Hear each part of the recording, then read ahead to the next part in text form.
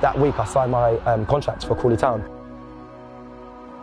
I remember just having the full experience, all the stuff being put on the board, tactics, films of the art the team were playing, just breaking it down before we went out, got the boys ready for the game really, and walking out onto the pitch. And I used to sit here. I just used to sit here.